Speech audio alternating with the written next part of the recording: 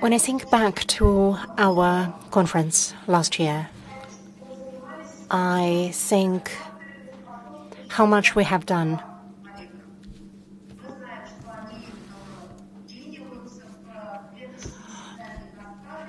We know that um, cancerogenic factors interfere with cellular cascades.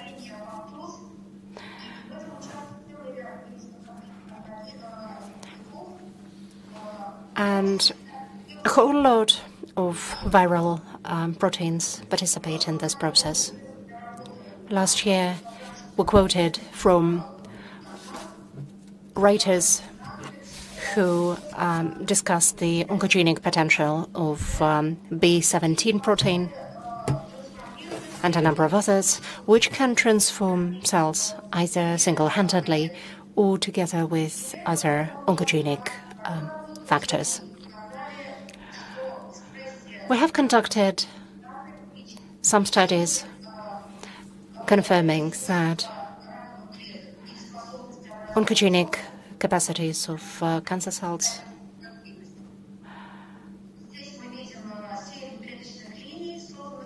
can be augmented by a series of um, cell lines. Some of these expressed reverse transcriptase without mutation. They formed more metastases, metastases in mice. Um, the uh, data on the slide are for mouse liver.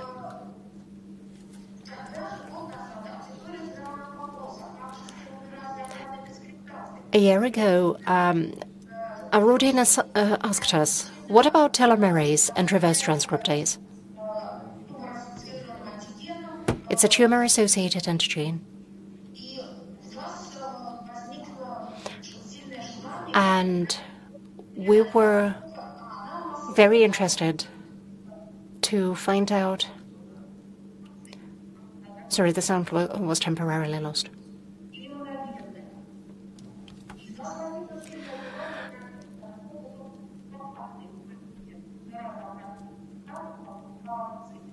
And we wanted to um, explore the potential of telomerase and reverse transcriptase in vaccine development.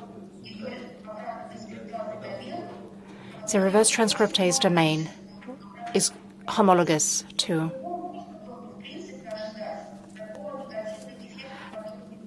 so you could expect this negative effect that we saw.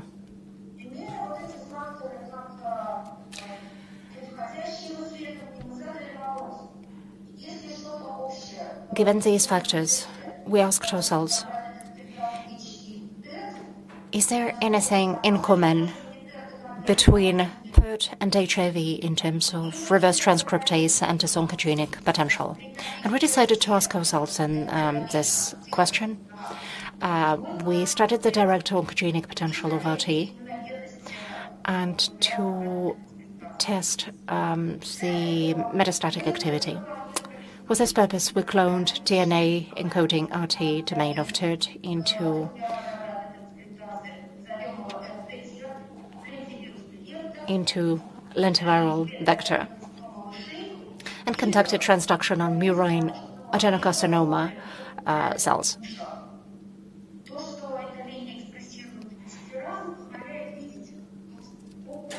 This line expresses sensiferase uh, as confirmed by in vivo monitoring data. We studied the uh, clones on the basis of genomic inserts of RT-TERT. Uh, and we compared them with uh, biostatin um, genomic copies in RT-TERT. There were some overlaps.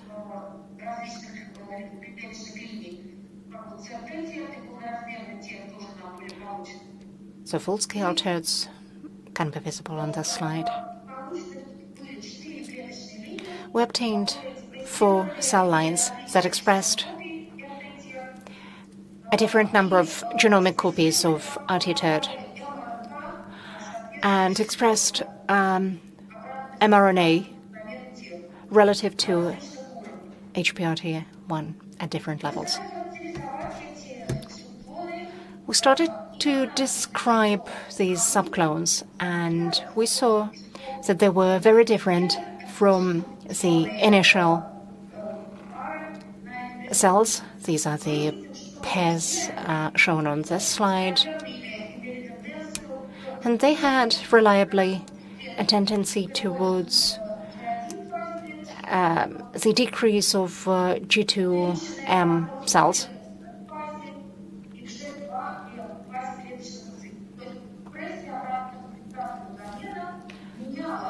So the reverse transcriptase of this domain changed cellular status. We also showed that along ways with this, genomic instability tended to increase.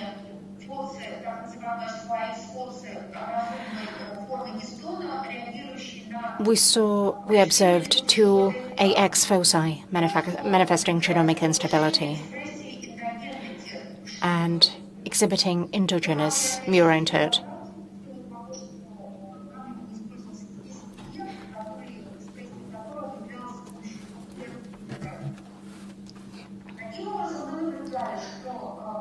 Thus, we saw that the cells that expressed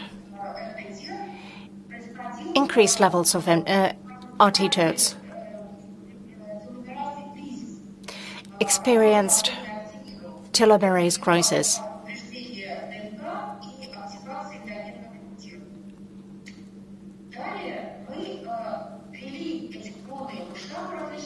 These clones were injected to mice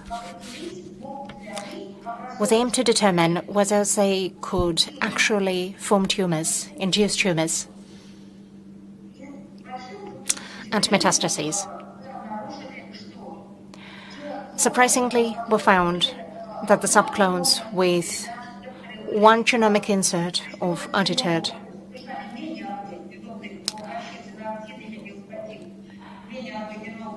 compared with those containing less than one insert lost capacity to form tumors.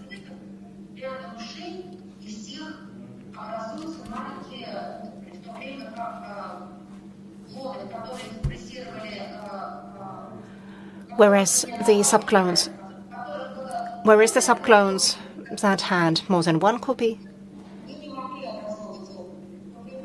couldn't form tumors.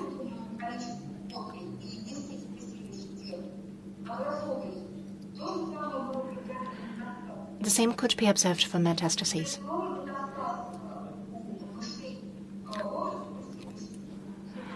Metastases with uh, overexpressing mice.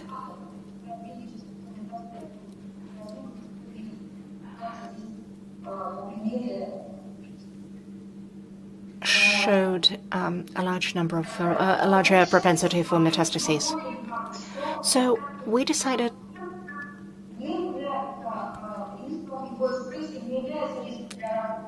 the expression of TERT, um, the, um, the expression was analyzed for full-sized TERTs. What we found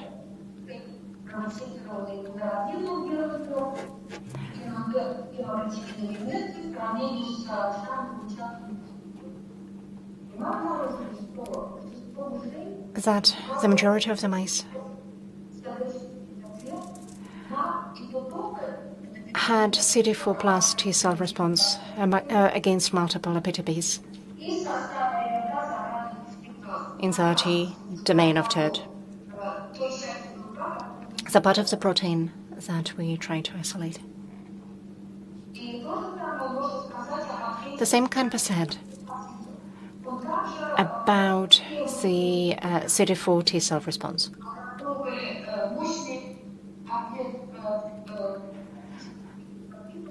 They provided a fairly robust response to multiple epitopes in the RT domain of TERT. And we published these data in an article that came out literally a week ago.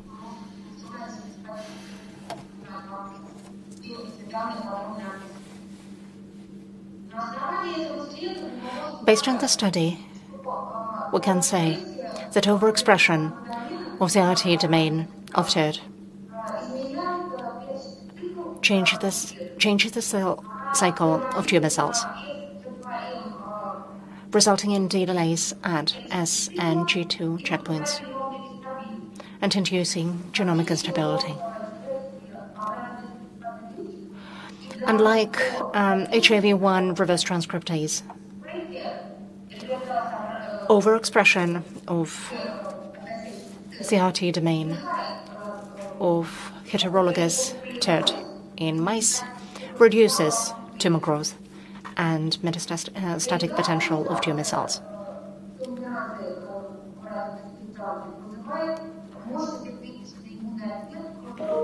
Transfection of DNA encoding TERT into mice induces potent T cell response against the RT domain of TERT. What we can conclude is that DNA for the reverse transcriptase domain of TERT could be used as a cancer vaccine, safe cancer va uh, vaccine uh, that bears no risks of enhancing carcinogenicity.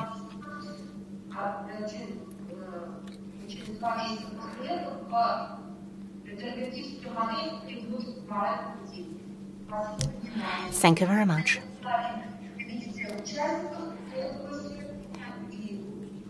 And I would like to conclude by um, acknowledgement, by um, paying homage to some of the people who contributed to this response, including the Russian Foundation for Fundamental Research, Basic Research. Thank you.